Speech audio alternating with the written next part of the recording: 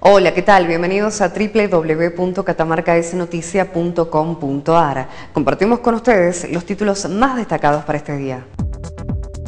Alto acatamiento. La secretaria general de ATECA, Francesca Dumeni, informó que fue alto el acatamiento a las medidas de fuerza que llevaron a cabo los docentes nucleados en el gremio, a pesar de que el gobierno ha maquillado bien el impacto del paro con las desinfecciones del dengue.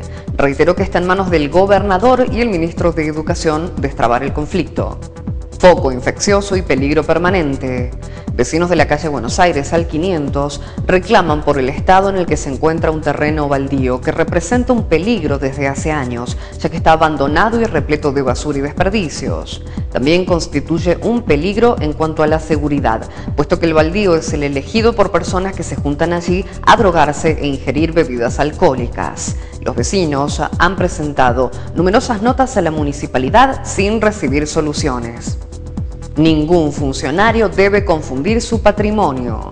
El fiscal de Estado, Simón Hernández, informó que se espera que se inicie el sumario administrativo a Catalina Krapp para determinar si se realiza una acción judicial en contra de la funcionaria indicó que si hay elementos que comprometen la situación de la secretaria de Turismo, Fiscalía de Estado actuará de oficio, reconociendo que si el hecho se corrobora es gravísimo porque ningún funcionario debe confundir su patrimonio particular con el público.